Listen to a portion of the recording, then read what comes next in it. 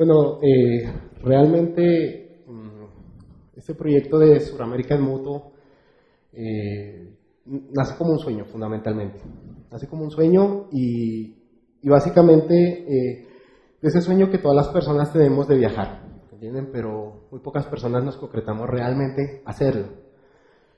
Eh, hace 10 años yo miré una, una, película que yo creo que muchos la han visto, que es Diarios de Motocicleta.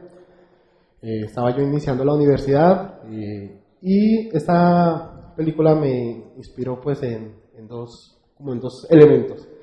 El primero, el personaje, que es el Che Guevara, eh, la figura histórica que él representa.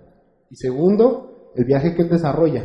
Pero yo en ese momento pensaba desarrollarlo con mochila al hombro, un plan medio hippie. Y por esas cosas de la vida mi madre me, me regaló una motocicleta y, y, era una motocicleta de esas pequeñas, de esas panaderas, de esas motocicletas que utilizan mucho eh, acá en la ciudad para hacer mototaxis.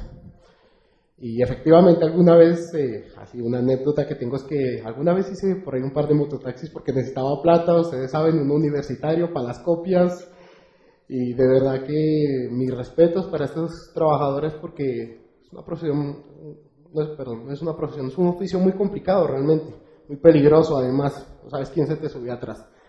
Bueno, y comencé a hacer viajes, primero a Chachahuí, después a Ipiales y me di cuenta que podría irme hasta el Huila y después en esa moto pequeña me fui hasta el Perú y después me fui hasta Venezuela y como que me comencé a enrolar en este mundo de los, de los motociclistas y claro, pues mi, eh, yo cuando, cuando venía de viajes me encontraba muchos moteros, pero siempre pasan en esas motos grandototas que parecen aviones y, y de alguna manera viajar en una moto tan pequeña me, generó algún respeto y reconocimiento dentro de estos moteros.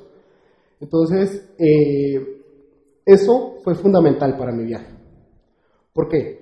Porque al abrir el espacio con algo tan pequeño, mm, cuando yo decido arrancar en mi viaje en una motocicleta de un cilindraje un poco más grande, que todavía sigue siendo una moto pequeña, una moto 220, una... Eh, resulta que muchas personas ya habían escuchado de mis viajes, eh, había participado en algunas series de moteros, algunas de ustedes de pronto pueden conocer Aventureros sin Dinero. Y, y cuando decidí arrancar, tuve como algo que fue lo más complicado de todo el viaje, fue el tema de eh, precisamente arrancar. Arrancar porque consideraba que no tenía la moto adecuada, porque consideraba que no tenía los equipos adecuados, porque consideraba que no tenía la plata y bla, bla, bla, bla, bla, bla, bla, bla, bla. Que así nos pasa a nosotros en la vida, en todo. ¿Tienen? Muchas veces eh, los proyectos y los sueños no se hacen realidad es por ese miedo arrancar. Bueno, decido arrancar y mmm, eso fue para mí como lanzarme al vacío, porque si bien había ido hasta el Perú, eh, eh, había llegado hasta cierto lugar y realmente eh, había llegado solo hasta la frontera, hasta Máncora. Pero cuando avanzo hacia allá, como que uno comienza a, dimensionar que eso que uno ve en los mapas, como que se va extendiendo, se va extendiendo, se va extendiendo y te das cuenta que son miles y miles y miles de kilómetros los que empiezas a recorrer y no sabes para dónde vas.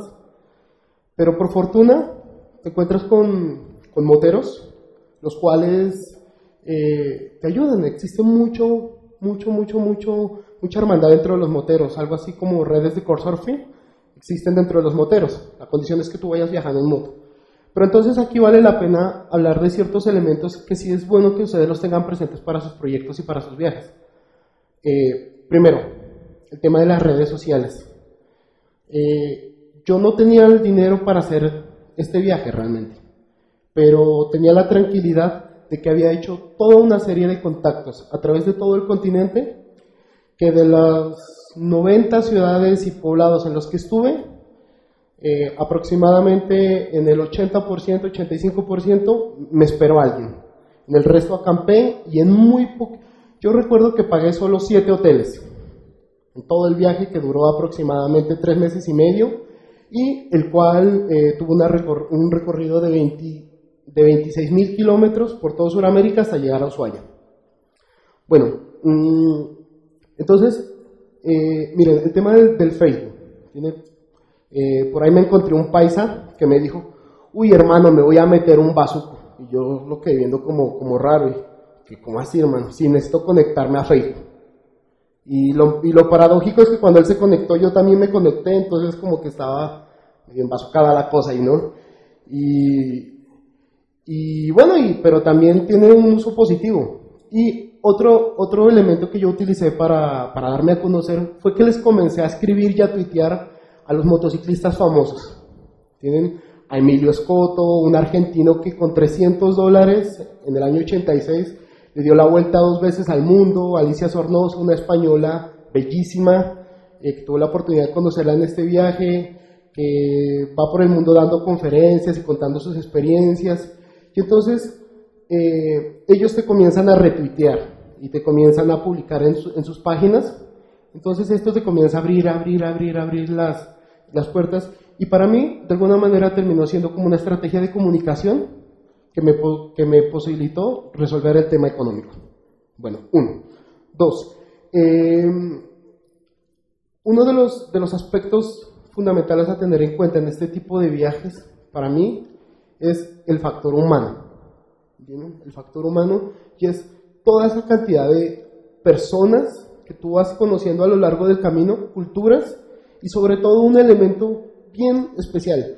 Resulta que los colombianos mm, y lo noté en, y lo noté en algunos compatriotas que, que, me encontré, somos como bastante prudentes, eh, a veces como, como que un poco, no sé si será por la situación social de nuestro país, como que ponemos ciertos muros y ciertas barreras, las cuales nos impiden a nosotros como que entrar así muy fácil. Y lo noté muchas veces. Y, y entonces me di, me di cuenta que un elemento clave en estos viajes es la sinceridad. Ser sincero porque cuando te reciben en un lugar, la gente no sabe qué tú quieres. Y eso lo noté mucho los argentinos. Y, vale, la pena, vale la pena decirlo, los argentinos son muy francos y te van diciendo qué les gusta y qué no les gusta. Y entonces uno empieza a adquirir ese, eh, ciertos elementos de esa sinceridad y realmente eso te comienza a, ti eh, a abrir más las puertas y sobre todo a relajarte. A relajarte y eh, especialmente a entender otras culturas, pero también entender, pero que también los otros te entiendan a ti. Porque si no, uno muchas veces llega como un astronauta, con un casco, un traje, camino así. Entonces, realmente, eso te aleja mucho de las personas. Bueno, mm, el tema de la, el tema de, de, viajar en moto, a nadie, pueden, por favor, prende un poco más la luz. Eh, el tema de, el tema de, de, viajar en moto. ¿Por qué hacerlo en moto? La moto tiene una versatilidad, que es lo, práctico que es este medio. Yo muchas veces iba por alguna carretera y miraba a la derecha y decía reserva natural tal y me desviaba hacia allá y ahí encontraba algún paisaje, encontraba algún elemento eh, que de pronto me parecía interesante para mi proyecto de fotografía. Pues realmente mm, de pronto aquí puede haber fotógrafos, no soy un fotógrafo experto, tomé algunas clases, pero sí tenía ese sueño, ese sueño de salir a retratar el continente en imágenes. Y hablando del, tema de la ciudad, yo por ejemplo noté algo que sí vale la pena compartirlo con ustedes, y es el tema de, eh, en Argentina por ejemplo, uno cuando llega a una ciudad, hay algún cartel que identifica a la ciudad, por decir, o a la región, por decir algo tú llegas a Mendoza y te dicen bienvenido a la región de los vinos. O tú llegas a Bariloche y te dicen bienvenido a la región de los lagos. Pero tú llegas a Pasto y, no encuentras algo que lo identifique. O sea, realmente esto es algo que, una, una reflexión que yo tengo, miren. Eh, por decir algo, tú entras a, Bariloche y sabes que hay una ruta que te va a conducir a unos lagos. Tú entras a Pasto y no sabes, si no has leído previamente, no sabe que existe una laguna que se llama la Laguna de la Cocha. Lo mismo con el tema del carnaval, por ejemplo. Eh, cuando llegué a Oruro, entré por una avenida y tú vas encontrando representaciones de lo que es el carnaval de, de, Oruro, iba a decir el de blancos y negros. Eh, y es algo que por acá, que, por acá nosotros no lo, no lo, vemos y no lo tenemos y que realmente nos falta explotar. Miren, si hay, hay algunas fotografías que uno dice, bueno, qué, paisajes tan bacanos. Pero miren, yo para poder salir a hacer este, este viaje por Sudamérica, primero conocí casi todo el departamento de Nariño. Me falta, eh, por seguridad no hice el viaje a Barbacoas y me falta ir de pronto a Iscuandé y ese sector de, de, de la costa pacífica nariñense. Pero yo pienso que tenemos todo un potencial turístico, el cual no lo explotamos. Y sobre todo tenemos un elemento que, es, que está jugando en contra de nosotros a nivel internacional de una manera bien grave, es el hecho, por ejemplo, de las, eh, de las narconovelas. Miren, me tenían, a mí no me preguntaban de dónde venía, no me preguntaban qué, comía, qué, qué hacía. Me preguntaban sobre las sintetas no hay paraíso, sin el patrón del mal, sin los tres caínes, y lo que hablaba con una amiga termina siendo como un tatuaje. En una parte me tenían tan acosado, tan, pero tan, tan acosado, yo le dije, mira hermano, yo le voy a confesar una cosa. Yo soy primo del primo del primo del primo del primo de Pablo Escobar. ¿Me comprende? O tráteme con cuidado. Y siempre, y siempre, siempre, siempre, siempre, eh, era el tema de, uy, colombiano. ¿no? Trae una merca y yo, hermano, ya me la fumé, lo siento, llegó tarde. Y, y y realmente, y, realmente, eh, realmente los medios de comunicación masivos, yo siento que nos están haciendo un, daño. dos productoras, las cuales no las quiero nombrar, pero ustedes saben quiénes son, eh, realmente nos están afectando demasiado a nivel internacional. Pero nosotros como Nari, pero nosotros, eh, y es una, una, una, propuesta que voy a empezar a desarrollar en estos momentos, Nariño tiene un potencial bien interesante, es somos frontera con Ecuador. ¿Tienen? Eso es, una, es algo que realmente nos falta explotarlo y, lo tenemos muy descuidado. Lo tenemos tan descuidado los colombianos que en la inauguración del puente estuvo el presidente Correa, pero no estuvo el presidente de Colombia. Esos son unos temas realmente, y nosotros pues eh, lamentablemente siempre pues estamos un poco marginados del resto del país como, como región, pero también es cierto que nosotros como región tenemos mucho por dar y mucho por hacer y sobre todo mucho por dar. Miren, eh, muchas veces, eh, bueno, algo que llevé ahí, pues ahorita que veo esa foto, es llevé una bandera del Deportivo Paso y, realmente la, eh, en Oyuni, en un, en un, monumento que hay de banderas, la, la dejé.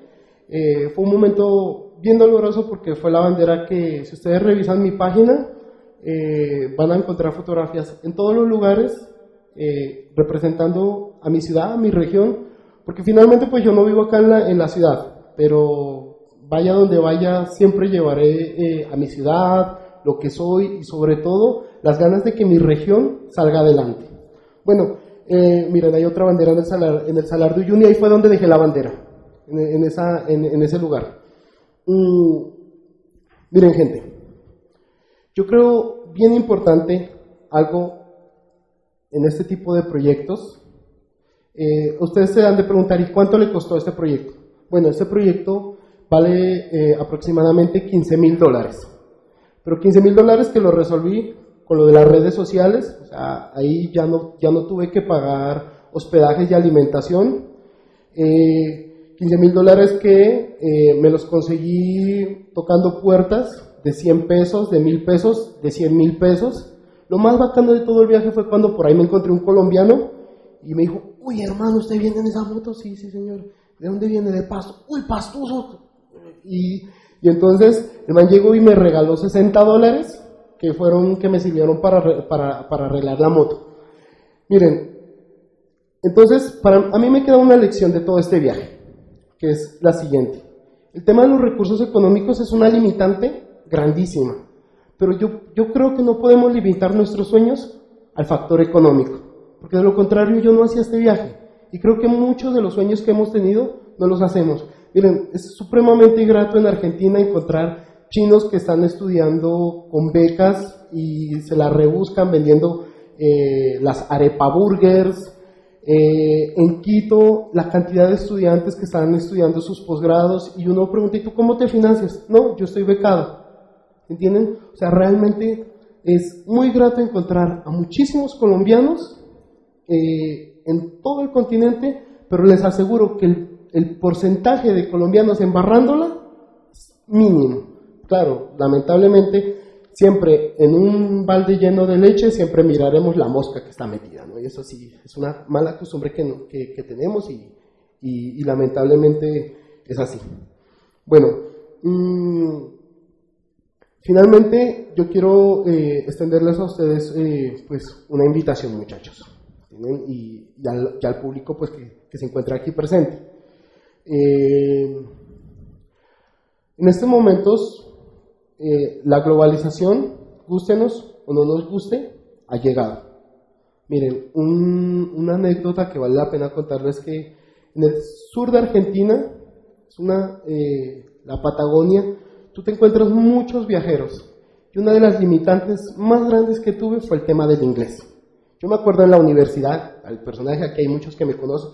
Sí, compañeros, abajo el imperialismo yanqui, fuera el inglés de la universidad, que nos enseñen quechua. Y bueno, pues sí puede que el quechua, puede, puede que el quechua haga falta, ¿sí me entienden? Y, pero realmente la, la, la falta, la falta, la falta de, Miren, yo, yo pienso que el, un 40% de este viaje me lo perdí por no eh, saber manejar una segunda lengua como el inglés. Uno. Dos. El tema de las redes sociales, eh, fundamental, generar estrategias de comunicación en torno eh, al Twitter, al Facebook. sobre todo, yo noté algo que noté, mensajes cortos, rápidos, ¿entienden?